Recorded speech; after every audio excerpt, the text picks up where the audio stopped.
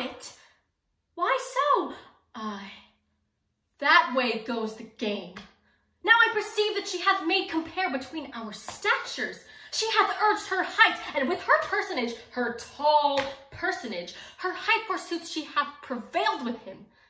And are you grown so high in his esteem because I am so dwarfish and so low? How low am I, thou painted maypole? Speak! How low am I? I am not yet so low but that my nails could reach unto thine eyes. Nothing but low and little. Why will you suffer her to flout me thus? Let me come to her!